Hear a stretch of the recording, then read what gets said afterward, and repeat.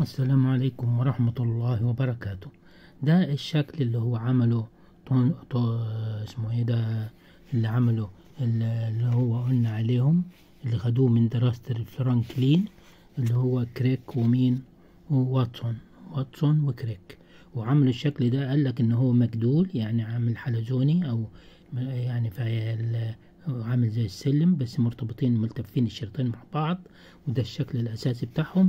ولو فكناهم عن بعض هيدونا الشكل ده اللي هو إحنا شايفينه اللي هو الشكل ده. هنلاحظ هنا في الشكل ده الأول هو أول حاجة قال لنا إيه؟